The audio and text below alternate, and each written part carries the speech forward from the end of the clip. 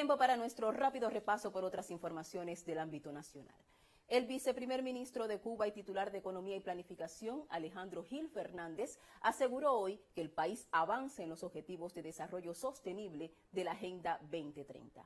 Durante la inauguración del taller de presentación del Marco Integrado de Financiamiento para Cuba, Gil Fernández declaró que la nación trabaja para cumplir los indicadores de ese programa de la Organización de Naciones Unidas sin dejar a nadie atrás.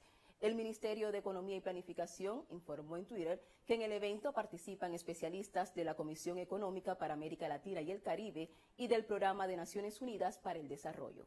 El marco integrado de financiamiento para Cuba forma parte de una iniciativa de la ONU para fortalecer los procesos nacionales de planificación y superar los obstáculos financieros para el cumplimiento de la Agenda 2030. Representantes gubernamentales de Cuba y Turquía dialogaron hoy sobre iniciativas para reforzar los lazos de cooperación en la agricultura y otras esferas. Durante el encuentro, la viceministra primera de Comercio Exterior y la Inversión Extranjera, Ana Teresita González, resaltó los lazos de amistad entre ambas naciones y la voluntad de fortalecer la cooperación mutua. Por su parte, el vicetitular del Ministerio de la Agricultura, Mauri Echavarría, agradeció la donación de maquinaria y materiales para la siembra de frijoles procedentes del país euroasiático.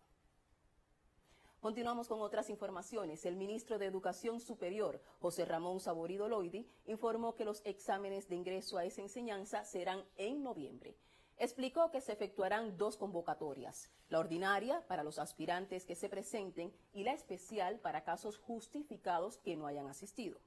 La convocatoria ordinaria se realizará los días 15, 18 y 22 de noviembre para matemática, español e historia de Cuba respectivamente y la especial será el 9, 11 y 13 de enero de 2023.